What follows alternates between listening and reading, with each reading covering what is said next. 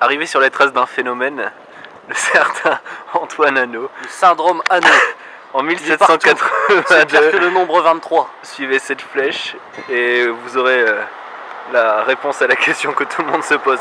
Comment un être si petit peut-il être si maléfique Comment peut-il échapper à tout et faire rigoler autant de personnes La réponse plus tard.